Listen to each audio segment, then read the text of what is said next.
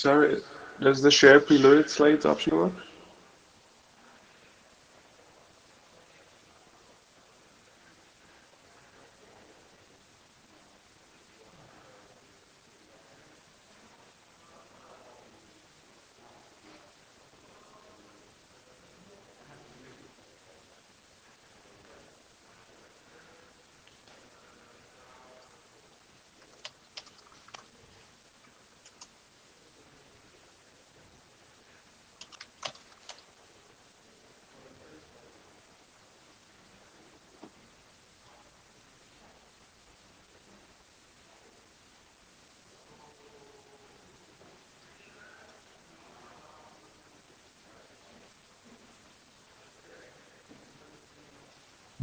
Okay, let me try that again this one. okay, will everybody remote and in the room hear me now? Yay, okay, whoop. Okay, so welcome to the PEARG meeting at IETF 113. This is a hybrid meeting you will have noticed that unfortunately none of the chairs are able to be there in person. So there is a sad little empty desk at the front. Um, I will remind everybody that this meeting is being recorded before we go any further. And if I can, uh, if I can ask for a volunteer for a minute taker, if you're interested in that, please uh, contact the chairs via the chat. Okay. As usual, we have the Note Well, which we hope that everybody is familiar with and has read. And in particular, we draw your attention to the code of conduct, the highlights on this slide, and we expect everybody to adhere to that. Moving on to the agenda, uh, the blue sheets are generated automatically by your attendance in Meetecho these days. Uh, Shivan will be acting as Jabber scribe, will be monitoring the chat. So if there's anything to put in there you would like asked at the mic, please prepend it with mic and he'll bring that to uh, the queue. Uh, we have a note taker, thank you very much. Uh, and our agenda today is uh, fairly light. Uh, we have one presentation on the effectiveness of QUIC padding against website fingerprinting. We have a presentation on GDPR and network privacy. And then we have one update on the state of the Survey of Worldwide Censorship Technique draft by Mallory. Um, before we get going, I will just quickly ask um, that, um, or remind people that participants in the room will need to join the queue via Meetecho. And then they can go up to the mic to ask the question. But when they do, please do state your name clearly. As with masks, it makes it particularly hard to see who is speaking. And full participants can keep their audio and video muted uh, when they're not speaking, that will be much appreciated. I see that there is an echo. Uh, I hope that's not me. I will switch to a headset. Um, okay. So some folks are hearing it and some aren't. So I don't know if it's... Okay, maybe the in-room mic... Ah, yeah, maybe the in-room mic is picking something up. Uh, hopefully that will get sorted out. Um, we will start by uh, moving on to the first presentation given by Sandra Siby. Um, Sandra, would you like to request to share your screen, drive your own slides? Hi, can you hear me? Yes, yeah. Uh, let me share it. You go ahead and make a request. Let me try to share my slides. Yes. If not, we think we can join.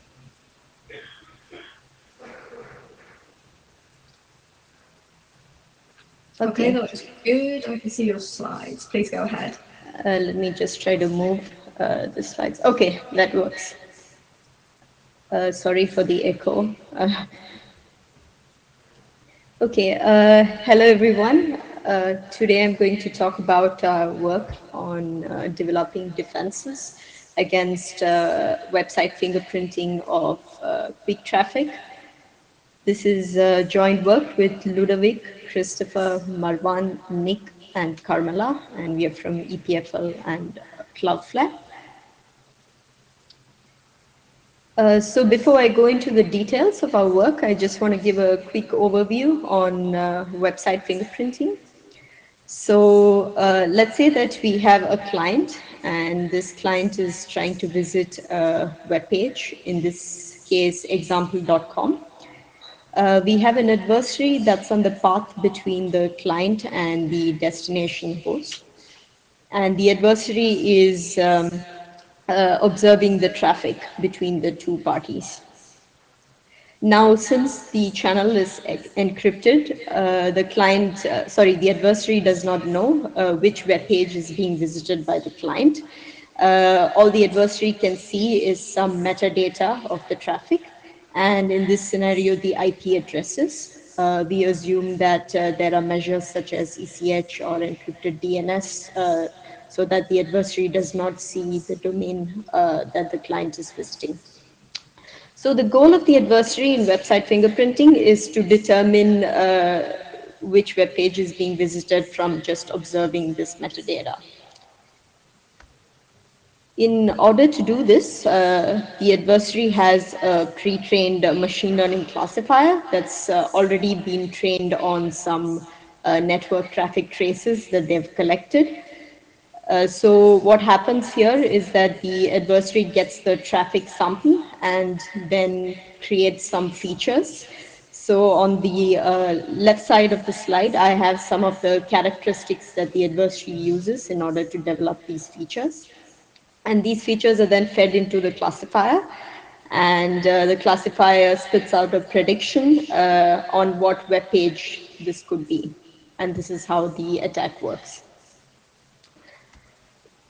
So in uh, our scenario, we are interested in seeing uh, how website fingerprinting works over a QUIC connection between the client and the destination. Now, uh, website fingerprinting on QUIC traffic is not new. Uh, it's actually already been done, and this work was actually pre presented at uh, the IETF uh, last year and uh, they concluded that it is no harder to print, uh, fingerprint QUIC traffic as compared to TCP, and uh, the adversary can identify pages over a QUIC connection with high accuracy. What we are interested in uh, looking at uh, is whether it is possible to develop defenses against being fingerprinted by such an adversary. So if we look at the QUIC RFC, uh, there is this option for a QUIC padding frame that allows you to increase the size of QUIC packets. And the RFC specifies that uh, this padding could potentially be used to provide protection against traffic analysis. And this is what we are interested in exploring further. Uh, so I want to talk a little bit now about the adversarial model that we are considering. Uh, so we have a bunch of vantage points, uh, which can be routers or switches or middle boxes on the internet, and they're located in uh, different ASs. So let's say that we have a client in ASX in this scenario, and the client is interested in visiting uh, some web pages which are uh, hosted on destination hosts uh, in another AS. Uh, this is for simplification that they're all in the same AS, but they could be located in different uh, destination hosts in different ASs. Now, these web pages can host uh, sub-resources, which are also located in many different endpoints. So when the client tries to visit and obtain these resources, the network traffic passes through a bunch of different vantage points, uh, as seen by the red arrows here. So in our scenario, the adversary is an AS that is interested in finding out which web page is being visited by the client. Now these uh, vantage points uh, will collect different subsets of the traffic. And as we saw here, we have a machine learning classifier which uh, which requires collection as well as storage and computation on these traffic traces. So because of this, we actually have a centralized uh, location in each AS and all the vantage points uh, transmit the traffic that they collect to this location, which actually performs the website fingerprinting attack as seen by the purple arrows. So uh, what we want to do now uh, is the goal of the adversary here is to identify the correct web pages, uh, web page uh, among all the web pages that are hosted on a single IP. So since the IPs are seen by the adversary, they can already filter traffic based on IP address. So they just need to identify which web page is uh, being visited among all the web pages that are hosted on one IP address in our scenario. Uh, so we do our experiments with a QUIC dominant uh, data set uh, of 150 pages here. So we did this by uh, crawling the web pages in popular uh, lists such as the Alexa 1 million. this is similar to prior work that's been done on QUIC traffic. And we looked at which web pages have a high proportion of QUIC traffic. Uh, since uh, QUIC is still being adopted, a lot of web pages are still uh, transmitting their resources over non-QUIC connections. But since we are analyzing QUIC, we wanted to build something which has primarily uh, QUIC traffic. And we found that um, for our uh, data set, we had approximately 70% QUIC traffic on average. Uh, just want to note that previously we tried to be more realistic and we partnered with Cloudflare uh, to look at uh, domains that are hosted on a single IP uh, and uh, get the traffic traffic for those, but those had only about 4% QUIC on average. So we went with this method to build our data set.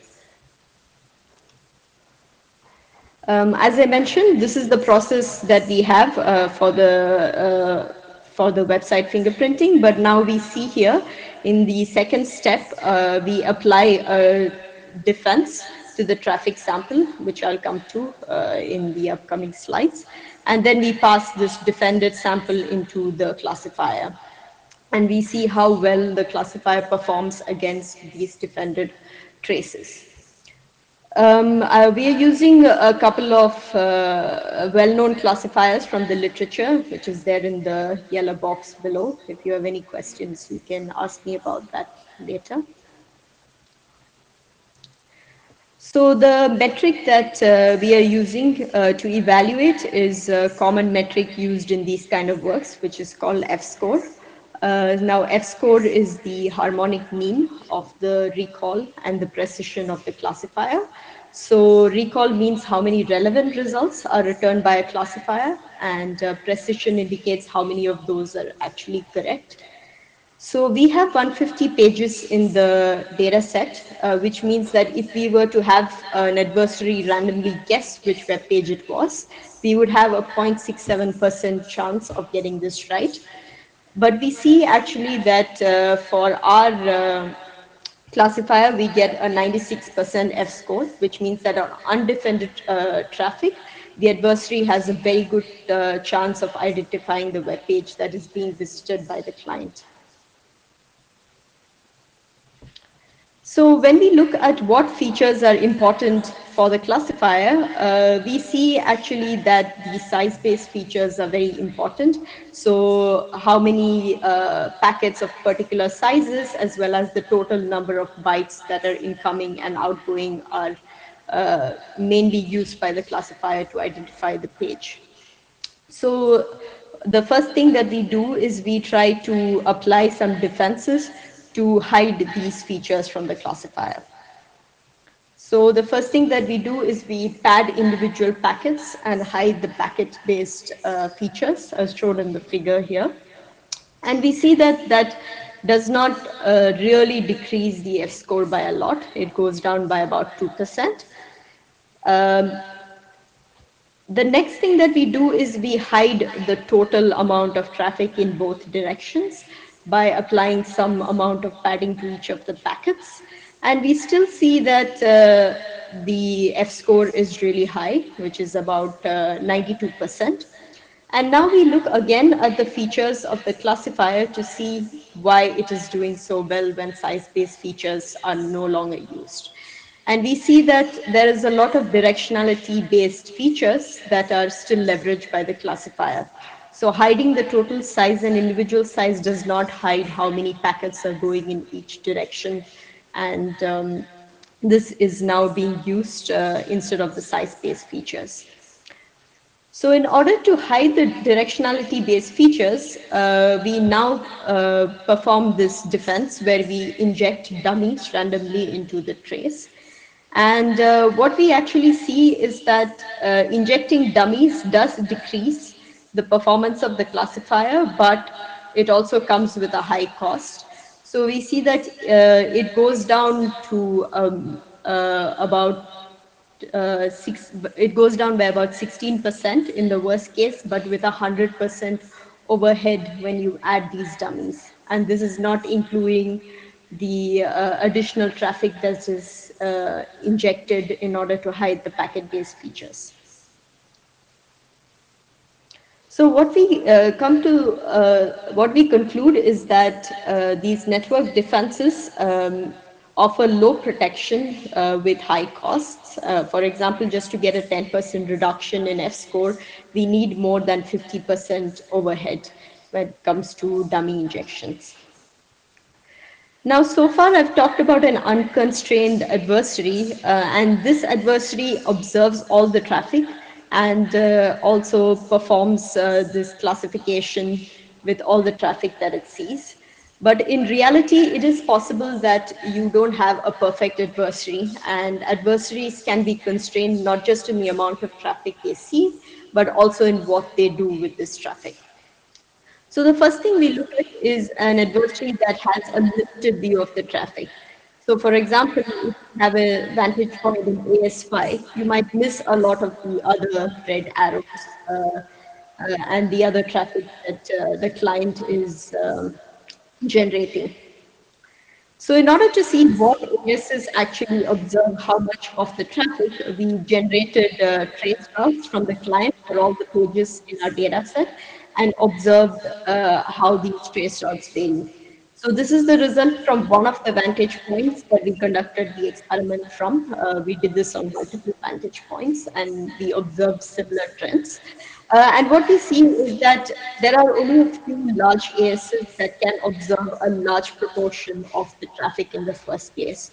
So that means that uh, here in this scenario on the, uh, on the left uh, plot, we see that there are only three ASs that can even observe more than 50% of the pages in our data set. And on the right plot, we see that for those uh, pages, about three of them can observe more than 50% of all the routes for each page.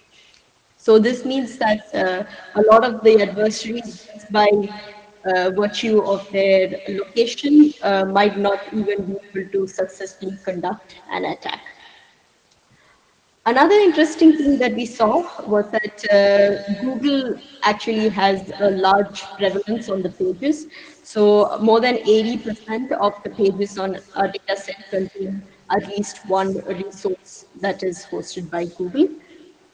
And uh, found that actually these resources could be um, ordered differently on different web pages, which means that tying to Google resources is a low cost fingerprint and can uh, have up to 77.9% F score. This means an adversary, for example, like an ISP, uh, can just use timings to Google uh, instead of uh, using all the traffic that we observe and identify things uh, with high accuracy. The next thing that we wanted to see was how well these adversaries perform with limited uh, processing. So previously, uh, I said that the vantage points are transmitting all the traffic that they observe to this centralized location.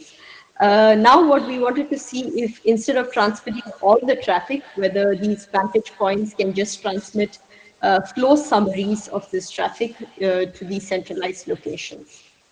So in order to simulate this, we used something called sampled net flow. Uh, so what happens here is that uh, the packet traces are sampled and then uh, the, uh, flow summaries are created and these are sent to the centralized location. And we perform the attacks with, uh, this, with the summaries instead of the packet traces. And we experimented with various um, sampling rates to see what happens to the adversary's performance. So as expected, uh, we see that with uh, lower sampling rates, uh, you also have much lower performance of the adversary uh, because there is much less traffic for the adversary to make uh, good features from. Uh, just want to note that even at a 0.1% sampling rate, it is still much higher than the random baseline.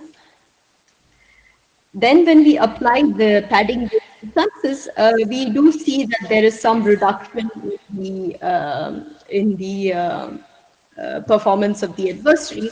However, we want to point out that in the case of the limited adversary, a lot of the gains come from the sampling process here more than the actual application of the defense.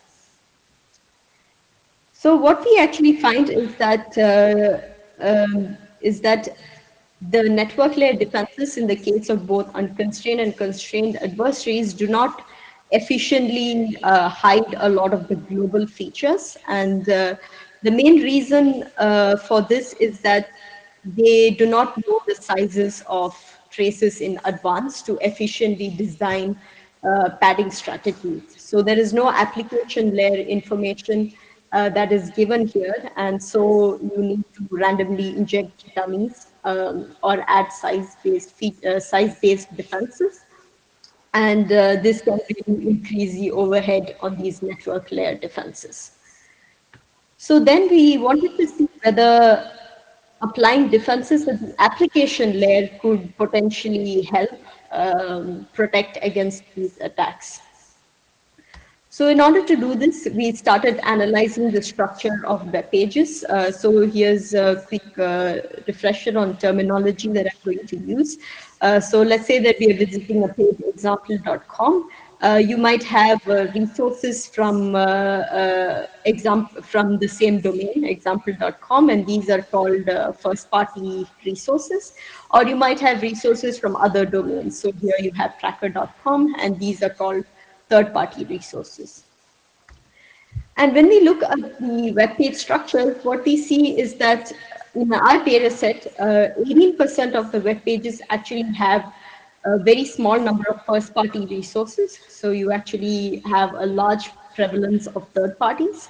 And uh, there is indeed a large prevalence of Google resources in our data set. So 24% of the pages actually even have more than 50% of Google resources. So what does that mean when it comes to applying a defense? It means that the third parties are contributing a large proportion of resources to the web page.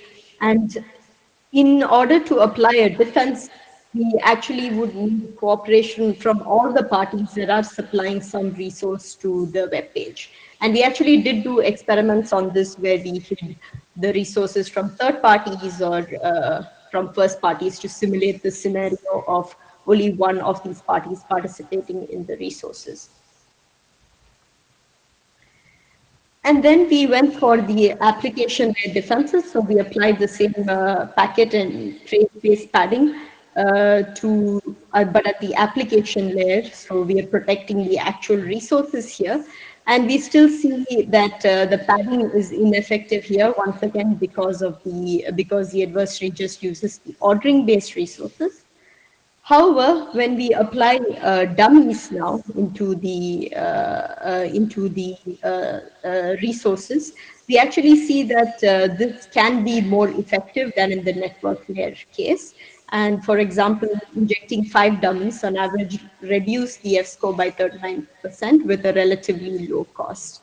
But in reality, if you wanted to implement something like this, that actually comes with some deployment complexity because injecting dummies here means that you're actually sending some requests for some dummy resources. And we'll have to think about how those would be implemented uh, and how that would uh, impact uh, the client's experience. So in short, uh, what we found is that at least at the network layer, if we want to implement an efficient resource, we need some sort of information from the application layer. Uh, otherwise, this could lead to large overheads. Uh, at the same time, if we decide to implement things on the application layer, uh, they come with a whole set of other complexities. So they would require some sort of coordination between parties, or we would have to talk to developers on how to uh, how to write code so that resources are always um, fetched in some sort of a standardized manner. And finally, all of these uh, changes in the application layer could potentially have a large impact on client experience. Uh, at the moment, we are working uh, to see uh, further what kind of uh, practices would have to be done in order to develop better application layer defenses. And here's a link to our paper, and feel free to ask me some questions. Thank you.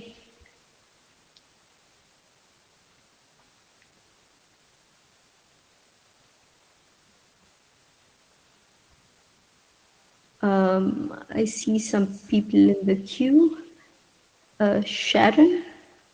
Yes, hi. How are you, Sandra? Thank you. Hi. Uh, I have a I have a question for you. Um, Yep.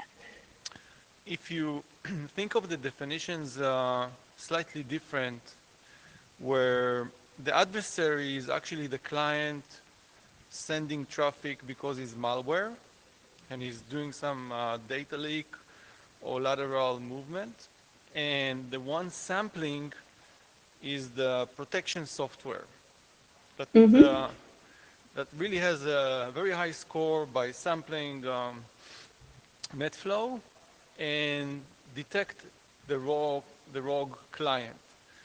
So according to your analysis, uh, the only way the malware can throw off the detection sampler is by injecting a lot of dummy traffic into whatever it does to avoid the pattern recognition.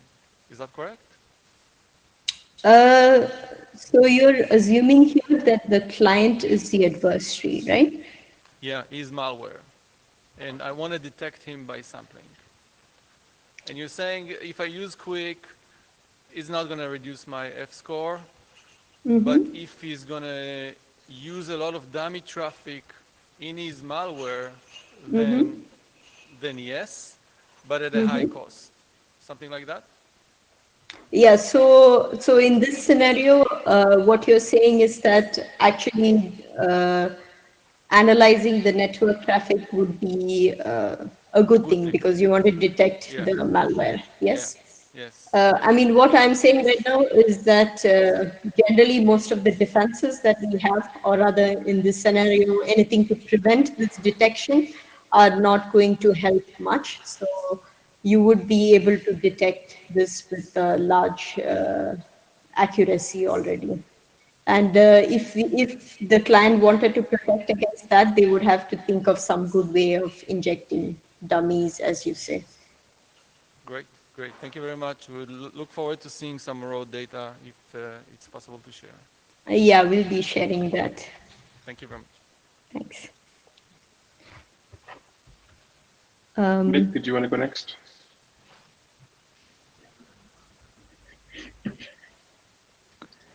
Yeah, thank you for this presentation. It's um, very useful for us to think about this type of threat, and it's um, useful to get some data. Um, I'm curious about clarifying the threat a little bit more uh, precisely. Um, I've just skimmed the paper, but my understanding is that you uh, removed all caches and just made a single uh, web page load to the index page of each uh, popular domain name. And the goal was just can you distinguish loading the index page with no caching of one domain versus another in, in cases where, for example, they're hosted by the same CDN or something like that.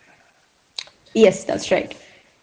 And and so I'm just curious, like, how is this how is this type of attack going to apply to cases where maybe I don't go to the index page, or Mhm. maybe I load a customized resource, or maybe I have cached resources, or um, var- various other situations like that. But because it seems like many of the times that we're worried about the network adversary, we're worried about them learning what I'm reading or um, or or the contents of my messages or uh, lo- lo- lots of different threats. And and that's not to downplay the threat of them knowing that I'm even going to a particular domain name, but does this threat also apply to learning what pages I'm visiting or or cases where the network traffic is going to be mixed or resources will be cached, etc. Uh, yeah, that's a good question. And uh, this is also a field of research in this area. So, uh, like you said, we are working with relatively clean traces here where we are assuming uh, no caching and like no background traffic and it's just the home pages. Uh, but we are planning now, for example, to do some experiments where we're also visiting sub pages of different websites to see how well this attack is going to work. Um, and there is also, I think, uh, work done by others now. Uh, there are some papers coming up where uh, they're looking at uh, fingerprinting in the presence of all these uh, factors that add some noise. But yeah, I, I, I would say that this is kind of the worst case for the uh, worst case. I mean, the best case for the adversary, and all of these factors would uh, possibly lead to a reduction in the F score. Does that Okay, answer but we don't know how much of a reduction, but yes, it will it will be Yeah. worth further research.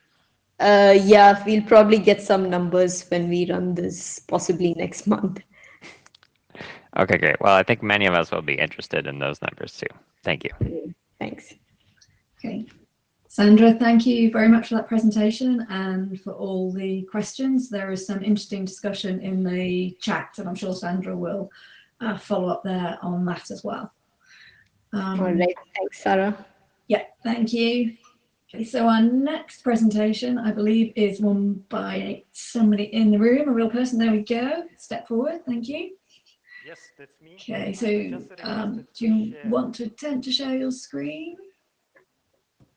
Okay. Sandra, you may need to stop sharing your screen, please. Okay, great. And okay, here come the slides, I think.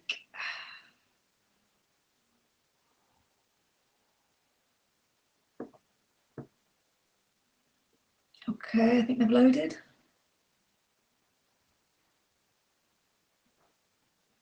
Okay, go ahead then, please.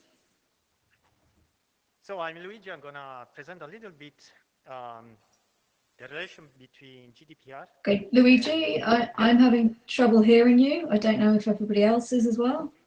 Maybe you're okay in the room, but uh, it's quite quiet remotely. Hello, better? Better, thank you. Okay, uh, just to hit the mic with a mask. Okay, uh, I'm gonna talk a little bit about uh, GDPR and relation with IP addresses in general, a little bit. Um, as the title say, the, the, how layer 8 meets layer 3. Okay, uh, knowing I'm not a lawyer, just to be clear. so this is my interpretation. I spent some time reading it, and uh, so I'll give you some some some interesting point that we may discuss later on. So I'll really one slide history, some terminology, and then we dig a little bit in GDPR and IP addresses. There is a a, few slides that make a clear link between existing RFCs and GDPR. Uh, if time, we will go over that as well. Okay. So um, GDPR came into effect in 2018, so it's not that long ago, replaced a very old uh, uh, Data Protection Act in Europe. It is a regulation, which means it is slightly more complex than a simple law because there are articles, which are the law itself, but there are also recitals, which are notes that explain actually how to apply the laws, okay, uh, which is the body of uh, GDPR. Luigi, I think it's still pretty quiet. If you wouldn't mind just, um, I guess, speaking up, I guess, a little bit. Speaking even more up. okay, Yes, I will try to do Thank that you. as much as I can.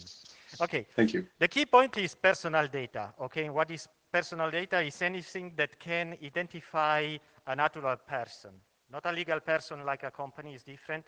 A natural person like me, all of you in the room and connected elsewhere. Name, personal addresses, anything that can, can identify ourselves. Uh, information concerning our employment. Financial information, you have the details in this slide, which is pretty wordy. There are also sensitive information, which is like ethnic origins or uh, religious belief or anything it's real personal choices in a certain way. And any other information that actually you, you are willing to disclose by yourself, for example, to your employer. Okay, in this last bullet, I put my employer, but it's just any employer can or any entity can ask you for uh, some information that you may wish to discuss, but is really personal. This is about the, the personal data. Then we have three key points, which are controller, processor, and processing. So the controller is who is controlling the personal data, okay? Because if you give the data to someone, that someone is controlling your personal data, okay? And he may wish do some processing, which is the action of taking your data and uh, making something to get some stats, for example, right? This is the processing. And the, the, the, the entity do, that does the processing is the processors, okay? Which is actually doing the processing. Now, it's kind of a headache, but these three things are correlated and do overlap, okay? It's like I connected to my ISP, I assign a contract, I give some personal information, the ISP controls my personal data that I gave to him, okay? And uh, he may decide to do some stats, okay? And he decides how to process the, the data, but not necessarily does it itself. He can ask somebody else, a third party, to do it, which will be the processor. Okay? Now, uh, GDPR and IP addresses. So in the GDPR, um, uh, is clearly stated that any online identifier is personal data, okay? Especially this applies to IP addresses and the European Court of Justice ruled that it is personal identification data because you can associate and retrieve a lot of other information, even if you use temporary addresses, okay? So as such, it falls specifically under GDPR and the privacy protection. Now, um, I will go a little bit through the, the several principles of GDPR and try to make a link to what is uh, an example of how does, uh, does it apply on the, on the protocol stack, let's say, more specifically to the network layer, okay, and uh, IP addresses.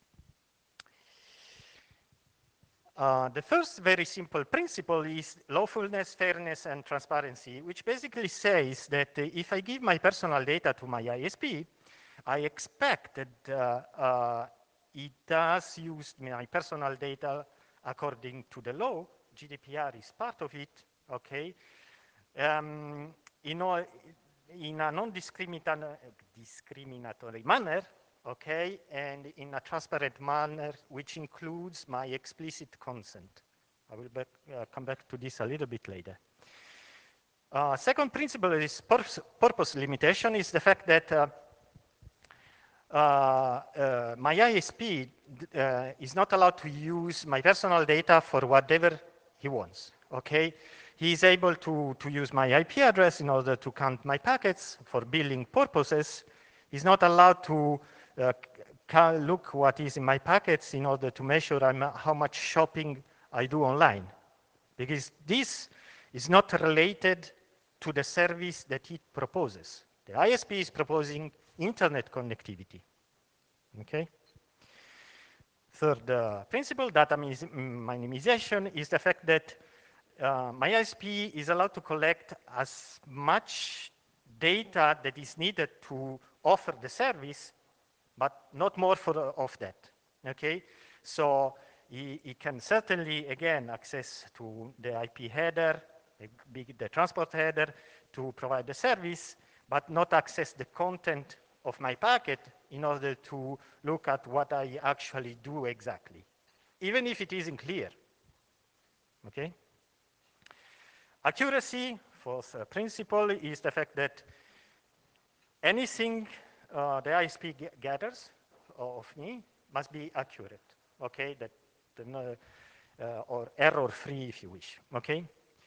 Uh, storage lim limitation is the fact that uh, uh, my, my data cannot be archived forever, okay? there is typically a limited amount of time that uh, my data can be collected, then it should be deleted. If I do not ask actually to do it beforehand, because there is this also this aspect that actually I, I, I have the right to be forgotten, so I can ask to delete all my data, okay? This is interesting, is kind of uh, tussling somehow because uh, on, the, on the one side we have GDPR that asks storage limitation. On the other side, load enforcement uh, enforce some minimal uh, time to, to keep some logs for accountability and traceability of some stuff. So there is a balance to strike there at some point, okay?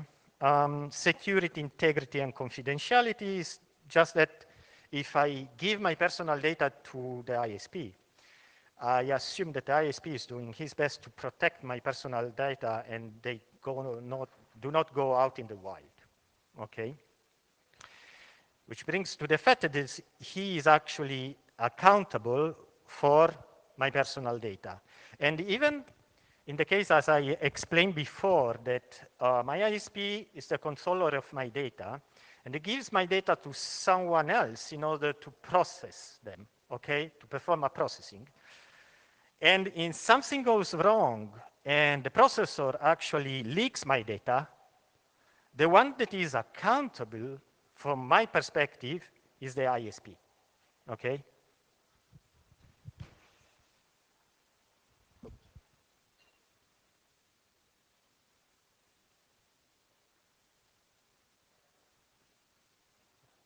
It's not moving anymore.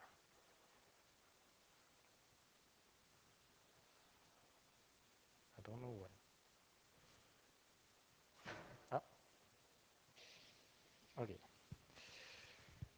So this is really high level uh, what happens in GDPR and how we can relate with, with the, uh, the IP protocol stack. So it's not that GDPR is peculiar for the European Union. It's not the only example. Okay, in this table there is a summary of other laws and regulation you can find all over the world. Okay, there are there are more or less or similar, and they all more or less consider IP addresses in, as a personal data. There are some uh, legal nuances in a certain way. So for example, in Brazil, it is not explicitly stated that uh, uh, uh IP addresses or online identifiers uh, are included in the, in the law, but the way the law is expressed, IP addresses fall in, okay?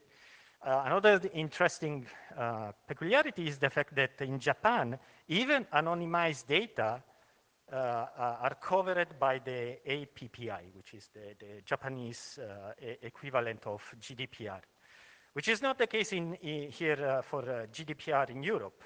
Once you anonymize the data and you are sure that there, there is no way to go back and find the, the, the original information, GDPR is out of the scope, okay?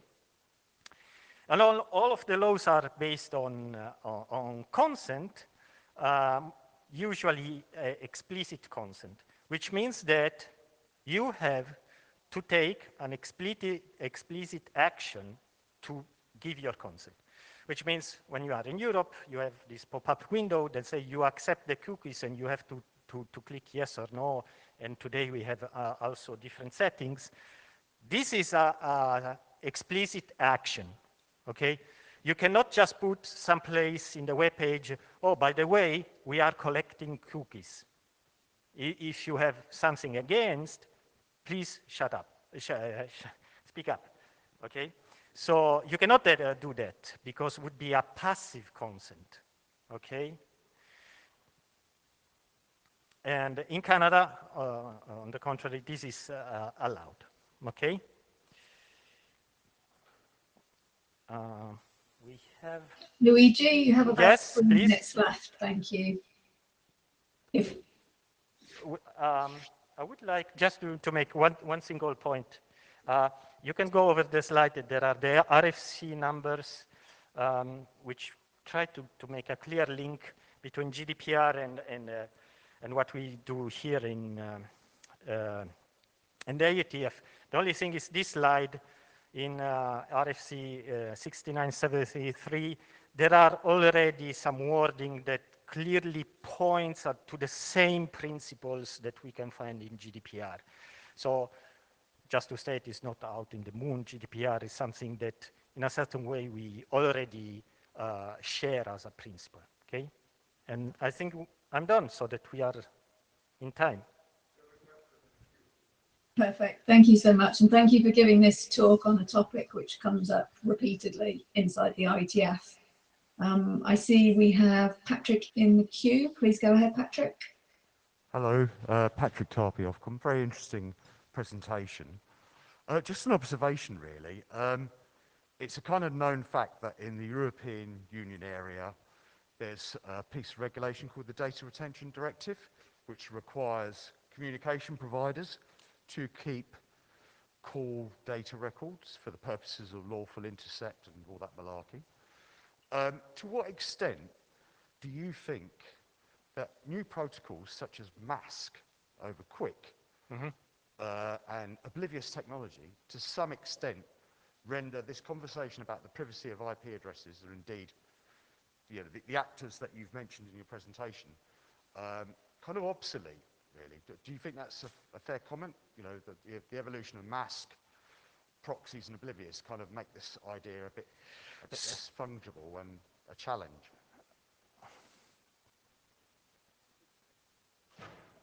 Thank you for the question, actually. it's a very, very interesting question. Uh, uh, top of, of, my head, the answer is, I think these technology are very useful and can help in, in, in privacy protection. There is one thing, though, that should be considered is uh, where the data goes. Uh, because the fact that you have an oblivious methodology in order to, to, to uh, obfuscate some things doesn't mean that uh, you are um, uh, GDPR compliant because uh, you, you have also to consider where actually you do that, how you do that, and then come into play the logs that you keep in order to, for accountability. So does it make sense, my, my answer? But it, it, it, we can chat more. It's a, a, very interesting question, but it's very complex, I, I think, to, to, to discuss. Okay. Thank you again, Luigi, for that presentation. That's great. And again, there's some further discussion in the chat that uh, uh, you may want to follow up with. Yeah, sure. Thank you. Thanks very much. Okay, and our final presentation is from Mallory. On it's an update of the Survey of Worldwide Censorship Techniques draft. So please, do you, you have slides? You want to share your own screen? Uh, I do have slides. I just requested to um, share them. Yeah, there we go. I see it now. Thank you so much. Yeah, go ahead. All right. Thanks. And thanks for time on the agenda. This is a research group document, if people recall. I'm presenting it only because um, the other authors who've worked on this draft for a very long time no longer have the capacity to continue working on it. So um, a lot of the content in the slides and the draft itself is not written by me, but um, I am its steward at the moment, happily. So yeah, Joe Hall, um, he was originally in my position at CDT when he started writing this. Uh, in November 2014. So that's quite some time. I think one of the challenges of this draft is that, of course, it's a, you know, contentious topic, uses the word censorship throughout. It's not something that IETF is used to talking about, but also that um, the more time that passes, um, the more sort of techniques can be added, refined, you know. So at some point, I think there's a recognition.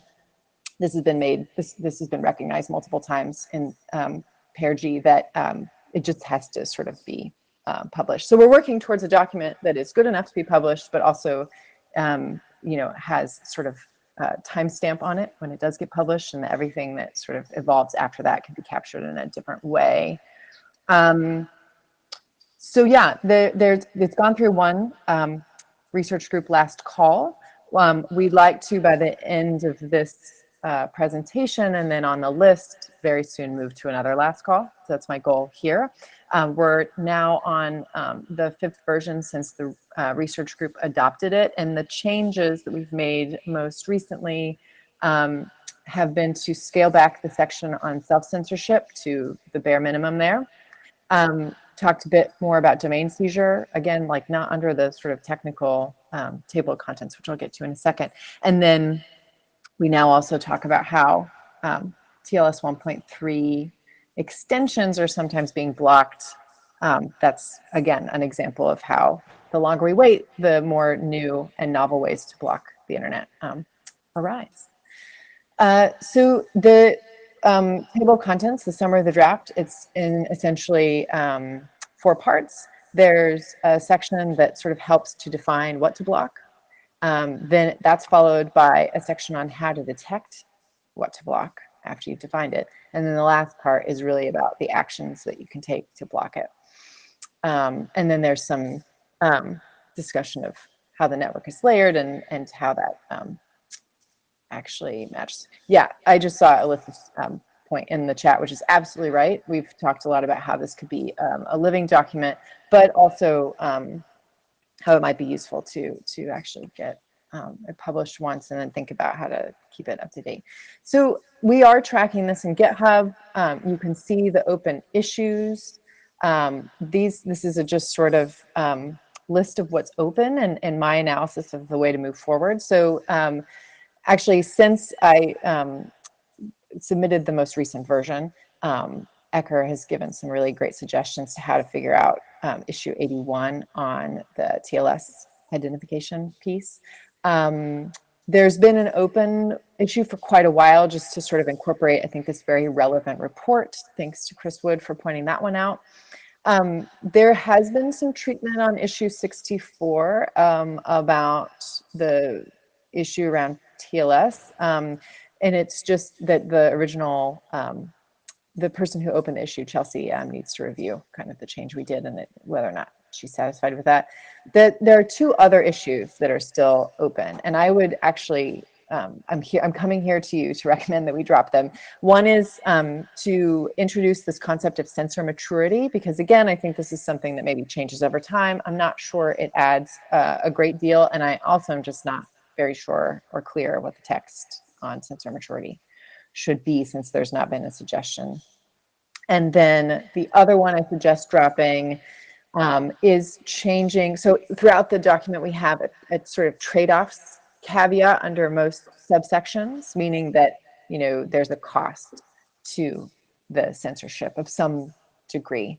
Um, and there's just been a suggestion that we change that terminology from trade-off to cost to implement, but I'm actually looking at the text. I don't think that the terminology change is really warranted. And also it would require us to do more wordsmithing because then we tend to say trade-off, colon, the cost to implement this, you know, so it would be really redundant and kind of, um, yeah, I'm just not, I'm just not convinced that it's really worth making the change. Um, so anyway, that, so like I said, uh, we're waiting for the re-review on issue 64.